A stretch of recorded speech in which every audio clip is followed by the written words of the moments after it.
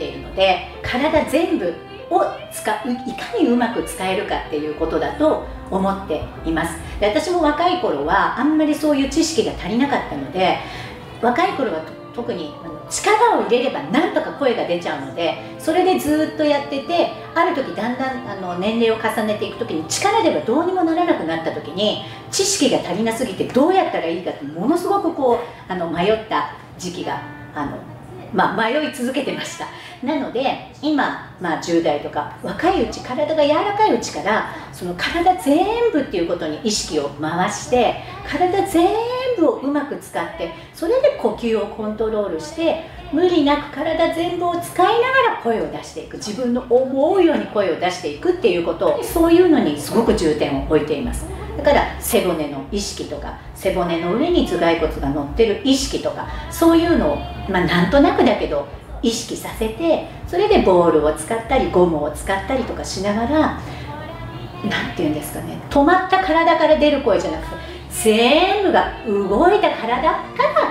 その延長で声が出るっていうことをあのぜひこう体験して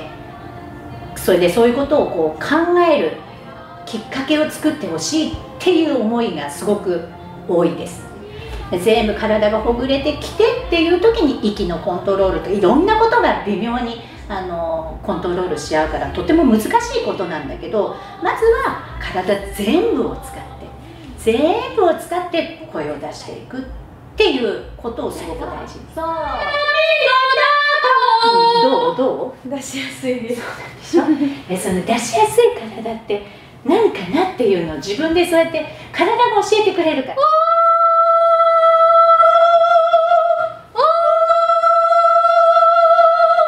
もちろん。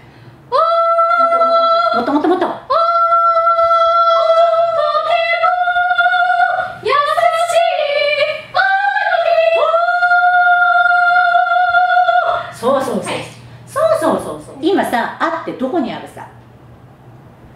って言った時にこの中にはいないじゃん、はい、もっとこの辺にいるじゃん、はい、あーって。あーじゃなくて、はい、この辺にいるじゃん、あ